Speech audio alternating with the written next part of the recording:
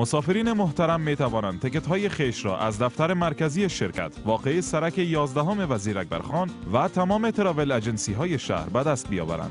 شماره های تماس 0780 388 775 و یا 0797 71 71 70 شرکت هوایی افق شرق پیوند افغانستان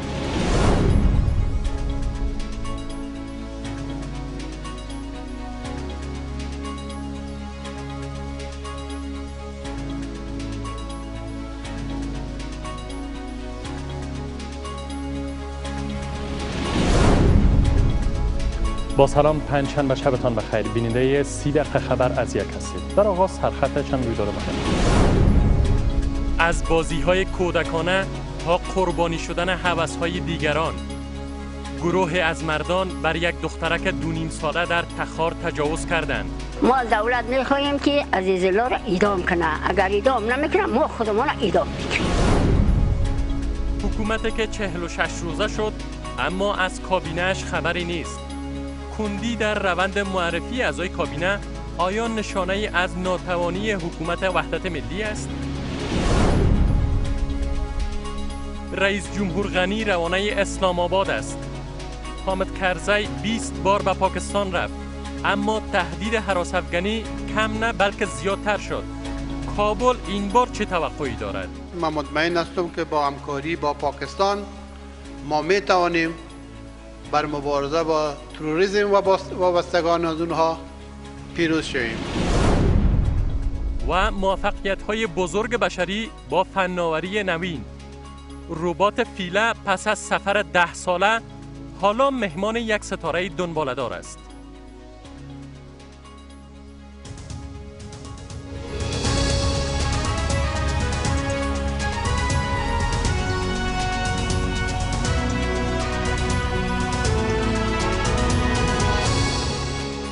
خوش آمدید. در سی دقیقه خبر امشب من و پجمل با مهمترین رویدادهای خبری از افغانستان و جهان میزبان شما هستم. حکومت افغانستان در نظر دارد عملیات های شب هنگام نیروهای افغان را در چوکات یک کارشیوه تازه تنظیم کند. کاخ ریاست جمهوری در خبرنامه گفته است که رئیس جمهور غنی به شورای امنیت ملی دستور داده تا این کارشیوه را نهایی سازد که در مطابقت با قوانین نافذ افغانستان های اسلامی و انعنات افغانی باشد. بر بنیاد این خبرنامه شخص رئیس جمهور این کارشیوه را بررسی می کند و زمانی بر راه اندازی عملیات های شب اجازه خواهد داد که اطمینان یابد برای افراد ملکی و نیروهای امنیتی افغان خطری متوجه نیست. گروه از مردان بر یک دختر دو نیم ساله در ولسوالی رستاخ ولایت تخار تجاوز کردند. سه روز پیش این دخترک هنگامی که در برابر منزلش مشغول بازی کودکانه بود از سوی چند مرد بوده شد و پس از گذشت شش ساعت باشندگان محل او را برهنه در یک باغ پیدا می کنند. پلیس تخار سه تن را در پیوند با این رویداد بازداشت کرده است. همزمان خانواده این کودک هشدار می‌دهد که اگر دولت عاملان این تجاوز را اعدام نکند آنان خودشان را در برابر دید همگان حلقاویز خواهند کرد. شهوترانانی که حتی بر کودکان نیز رحم نمی کنند این دختر تنها دو بهار زندگیش را تجربه کرده است. آنقدر کوچک است که حتی نمی‌داند چرا در این بستر افتاده است و چی بلای سرش آوردند مادر کلانش فشرده آن روز را حکایت می کند یک روز سیاه و یک روز پر از درد. یک زن مرا میتکد بیا گفت خاک دست گفتم دخترت آورد آمد. من از کجا از خنده زدم؟ آمدم که همسایه می تو شیش هست. یک تا میرته میشه من میتکدم خاک به سرت گفتم تیش داری زن می تو میشوفتم پاش آواز کده بشو. پاش آواز کردیم که بری پاش قخو خب اینطوری کردم که زنا همه چاست تجاوز کنندگان با گرفتن افت این کودک بسنده نکردند. حتی می‌خواستند جانش را نیز بگیرند. آنچه که بررسی پزشکان نشان می‌دهد.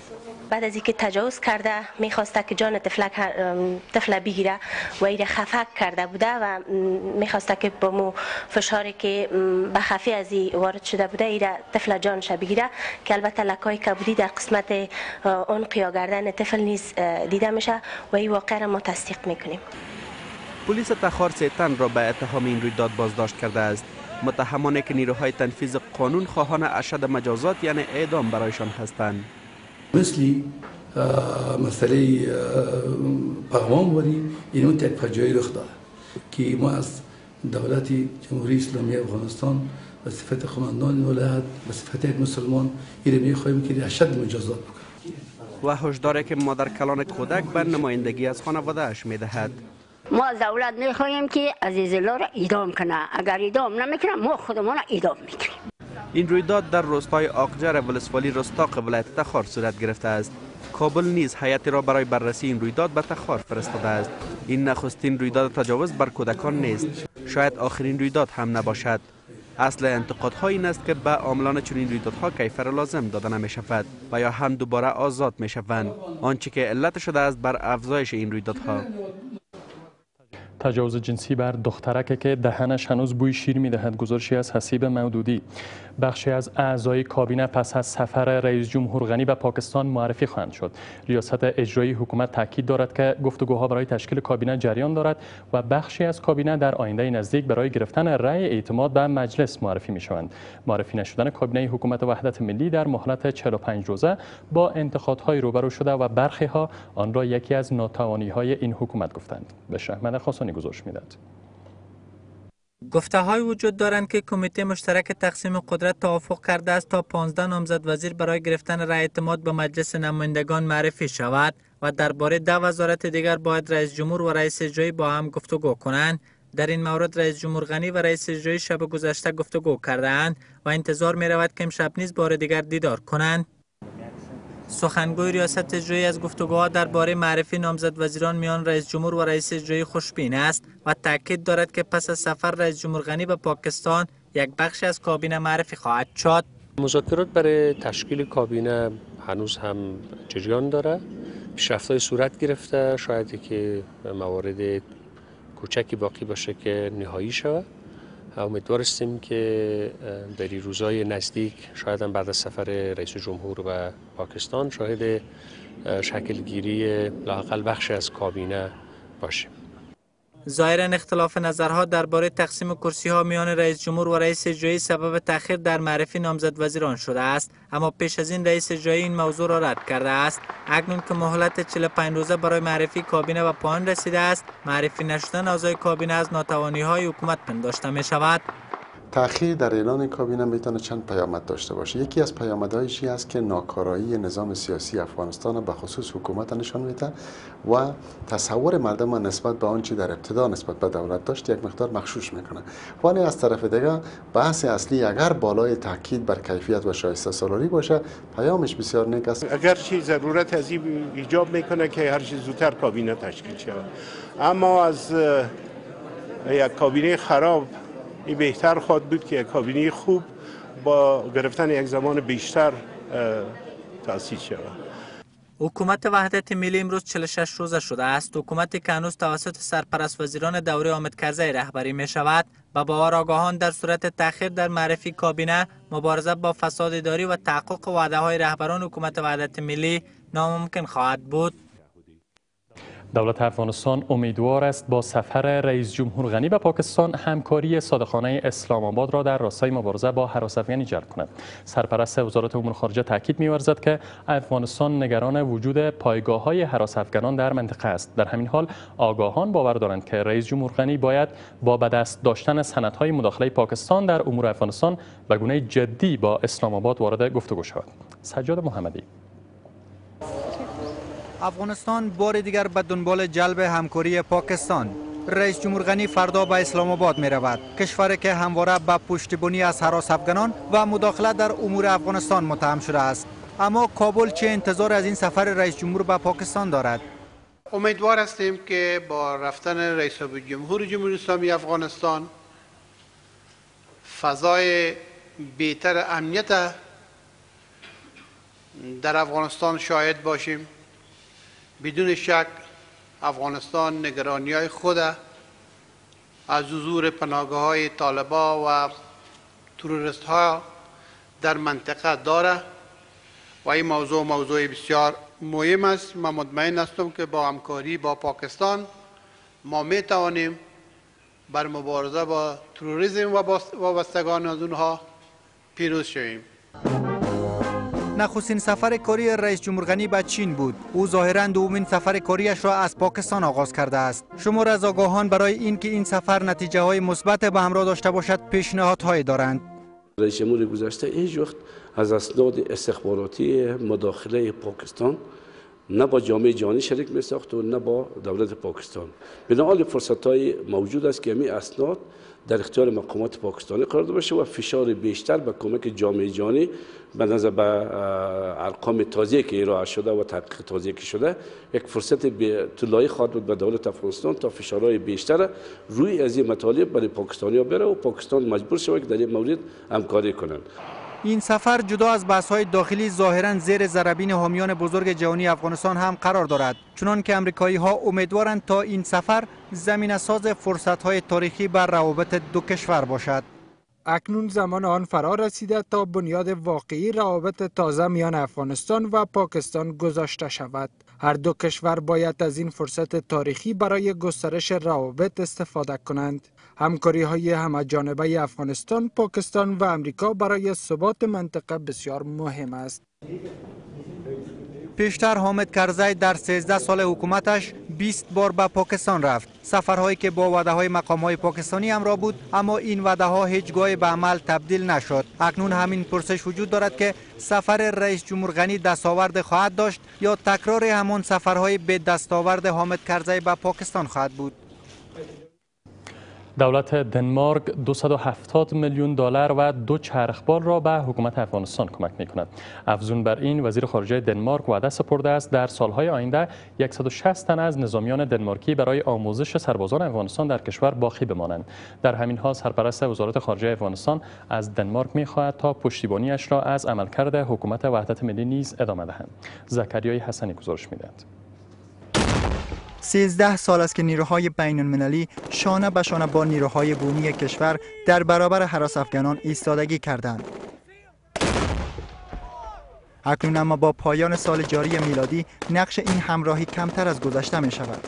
زیرا از این پس نیروهای بومی کشور باید خود در برابر حراس افغانان بیستند آنچه که نیاز به کمک های مالی همکاران بین المللی همچنان احساس خواهد شد. اکنون در این دیدار کشور دنمارک وعده می سپارد که پس از خروج نیروهای بین المللی از افغانستان به همکاریش با حکومت وحدت ملی ادامه می دهد. آنچه که پارلمان ما برای آن تصمیم گرفته و با آن متحد است در جریان سه سال آینده کمک 90 میلیون دلاری در هر سال می باشد این نخستین برنامه بزرگ انکشافی دنمارک است که آن را در افغانستان عملی می کند و افغانستان بزرگترین کشور دریافت کننده این کمک های پایدار برای صلح و ثبات می باشد ما همچنان دو چرخبال ترانسپورتی را به نیروهای امنیتی افغانستان کمک می کنیم و 160 سرباز ما هم برای آموزش نیروهای این کشور در افغانستان باقی می مانند. در جریان 13 سال پسین کشور دنمارک در چوکات آیسف با افغانستان همکاری های نزدیکی داشته است. اکنون سرپرست وزارت خارجه کشور خواهان ادامه این همکاری ها است. در صدر کمک کننده ها در عرصه معارف افغانستان کشور دنمارک می باشد. همچنان در بر ساختن پلیس افغانستان کشور دنمارک جایگاه خاصی داشتند و در حمایت از اصلاحات در بخش عدلی و قضایی حضور فعال داشتند. در 13 سال پسین بیش از 40 سرباز دنمارکی در افغانستان کشته شده و بیش از 1200 تن دیگرشان زخمی شدند. اکنون وزیر خارجه دنمارک این را بهای گذافی می‌داند و می‌گوید حاضر نیست تا این جانفشانی هایشان به آسانی به باد هوا رود.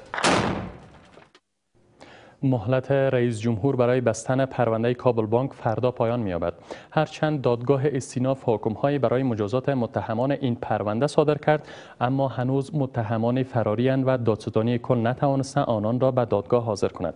اتحادیه حقوقدانان می‌گوید که هدف اصلی صدور حکم رئیس جمهور همین دو موضوع بوده است که تا حال دادستانی و دادگاه عالی نتوانستند آن را عملی کنند. از سوی هم وزارت امور داخله پنج نفر را که 500 هزار دلار از کابل بانک بدهکار کارند تازه بازداشت کرده است. تمیم شهیر گزارش می‌دهد.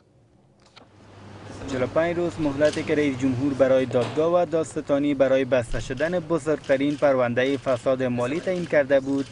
فردا پایان مییابد. اما چه انتظار می‌رفت و مردم توقع داشتند. این دو نهاد برآورده نساختند.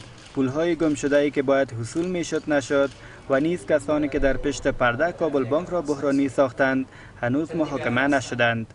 خانهش در پاکستان بود یک پاکستانی بود با رئیس بانک رفت سال به مسئولیت گم است. محب الله صافی و موسی خان غاسی حتی در دادگاه استیناف حاضر نبودند. کسانی که در دادگاه ابتدایی حضور داشتند و متهم به اختلاس و غفلت وظیفوی شدند. یعنی پیسه ملت است امروز ملت است خراب شده. بگیرین اول اینو پیدا کنین او برادر. دوست معلوم است نفر گلبگی معلوم است.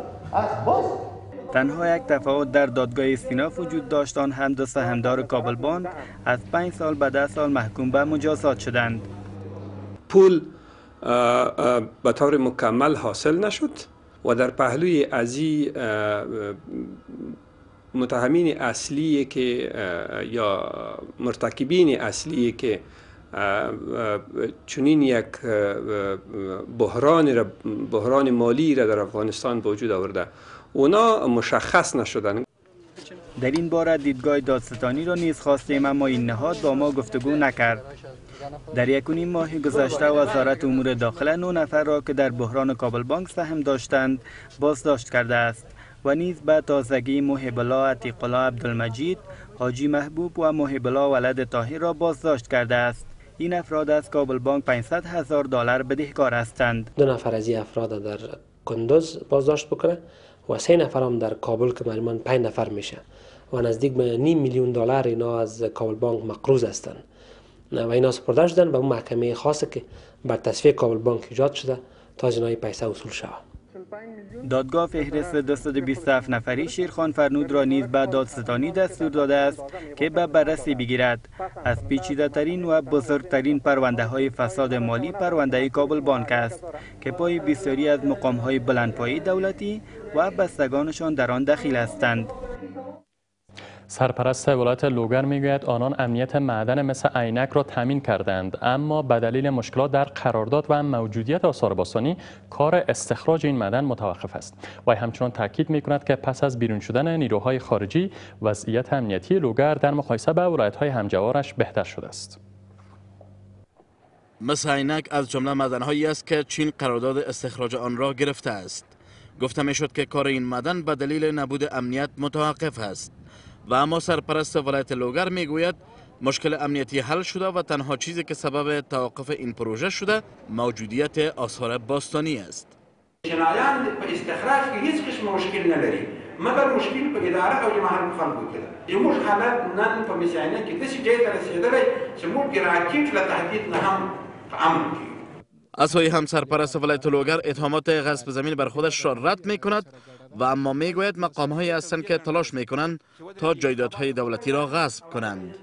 هغه ساحې چې پاینده کې غاصبینو دې ته نیت کړی ده چې هغه چې په دوه نیم کیلومتره د پل عالم کې واقع ده. پاینده کې غاصبین دې ته نیت لري خو برنامه یې له اوسه ورته شروع کړي غصب شوي نه دي. غصب دې کې هیڅ شک نشته. په لکهاوو جریبه مځکه غصب شوي لوگر یکی از ولایت های نام در جوار کابل است. همین سه روز پیش یک پلیس محلی مواد انفجاریش را بر بدنش بسته و خودش را در میان همقطارانش در برابر فرمانده پلیس این ولایت منفجر کرد. رویدادی که هفتن به شمول یک فرمانده پلیس محلی را کشت.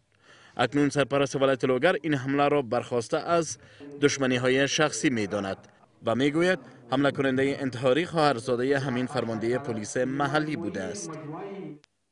در دو حمله انتحاری در ولسوالی بهسود ولایت ننگرهار یک تن کشته و یک تن دیگر زخمی شد. قربانیان این دو رویداد افراد ملکی هستند از سوی هم انفجاری در ولایت قندهار یک کشته و پنج زخمی بر جای گذاشت. مواد انفجاری که در یک کراچی دستی جاسازی شده بود پس از چاشت امروز در ساحه گنج ولسوالی اسپین بولدک منفجر شد. پلیس قندهار می‌گوید تمام قربانیان این انفجار غیر نظامیانند. در همین حال در پی انفجار یک بالون گاز در شهر قندهار دو عضو یک خانواده کشته و چهار تن دیگرشان زخمی شدند. د ننګرهار بیسود ولسوالۍ په مربوطاتو کې د جنوبي بایپاس د سړک په اوږدو کې د یو موټر نه په ګټې اخیستنې د بهرنیو ځواکونو په کاروان باندې ځانمرګی برید شوی دی. هغه معلومات چې بهرنی ځواکونو ولایت مقام ته ورکړي دي د هغوی په وینا چې په دې برید کې دوی ته کوم تلفات نه دي اوښتي یوازې یو موټر زیانمن شوی دی لکه مرغه د محل نه د حادثې د محل نه ملکی خلکو ته یا نورو ځواکونو ته د کوم مرجوب له گزارش هم نه رسیدلی اروپایی ها توانستند ربات ساخته دستشان را برای نخستین بار در طول تاریخ فضانوردی بر سطح یک ستاره دنبالدار نشسته این ربات که فیلا نام دارد از سوی آژانس هوانوردی اروپا در سال 2004 میلادی به فضا پرتاب شد و سرانجام پس از سپری کردن ده سال بر روی یکی از ستاره های دنبالدار نشست کرد. رباتی که فیلانام دارد پس از سپری نمودن نزدیک به 6 میلیارد کیلومتر و سپری نمودن 10 سال به یکی از ستاره های دنبالدار نشست کرد تا اطلاعات مهم را در مورد تشکیل این ستاره ها که 4.5 میلیارد سال پیش شکل گرفتند به زمین بفرستد.